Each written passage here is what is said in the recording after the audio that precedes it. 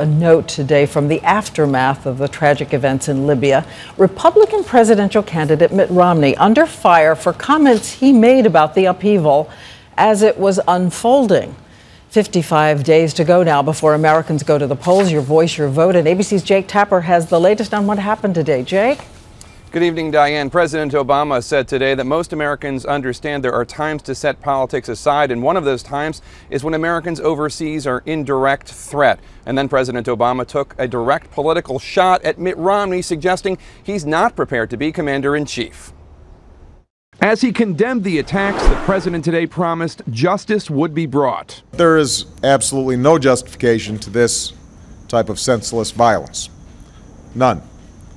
The world must stand together to unequivocally reject these brutal acts. And then he left to console shattered State Department employees.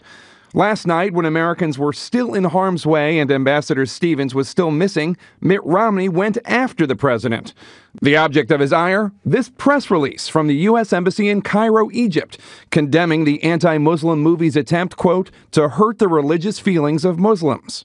Romney called it, quote, disgraceful that the Obama administration's first response was not to condemn attacks on our diplomatic missions, but to sympathize with those who waged the attacks.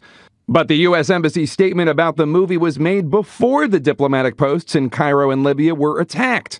When asked about timing today, Romney stood firm. The embassy had tweeted post attack that its original statement still applied, the campaign said. And as for U.S. personnel still having been in danger, it's never too early for the United States government to condemn attacks on Americans and to defend our values. The president responded in an interview with CBS's 60 Minutes. You know, Governor Romney seems to have a tendency to uh, shoot first, name later. Uh, and as president, one of the things I've learned is you can't do that. But beyond the tone and timing of Romney's attack are larger questions about the president's foreign policy. American leadership is necessary to ensure that events in the region don't spin out of control.